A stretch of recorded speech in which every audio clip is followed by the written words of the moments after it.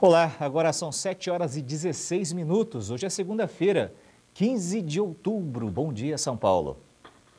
E hoje é o último dia em que a imagem peregrina de Nossa Senhora Aparecida fica aqui em Mogi das Cruzes e uma missa de despedida será realizada daqui a pouquinho lá na Catedral de Santana, onde está a repórter Fernanda Monteiro. Bom dia, Fernanda. Bom dia, William. E já tem gente por aí, não? Já chegaram, sim, William, alguns fiéis. A igreja está aberta desde cedo, então muitos já passaram aqui para pedir a bênção, não podem acompanhar porque vão trabalhar, mas já tem gente chegando aqui sim. Eu vou conversar com o padre Sérgio Luiz da Rocha Silva para falar mais sobre essa missa de despedida. Começa daqui a pouco.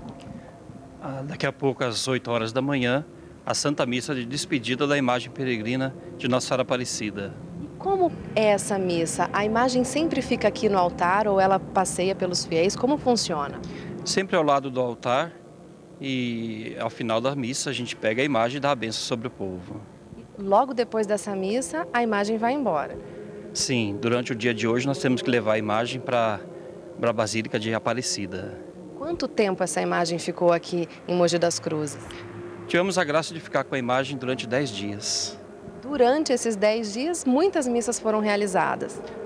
Tivemos quatro missas por dia, de manhã, tarde à noite, confissões e as bênçãos dos objetos e principalmente das pessoas. Como era a participação dessas pessoas durante as missas? Graças a Deus, todas as missas, mesmo as de manhã, lá pelas 8 horas, a missa da tarde, da noite, sempre com é, centenas de pessoas, de fiéis, vindo aqui fazer a sua oração diante da imagem. Muito obrigada pela sua participação. Então, a missa de despedida é logo mais às 8 horas da manhã, é a última oportunidade. Outras informações pelo telefone 4799-3239, que é o telefone aqui da Catedral.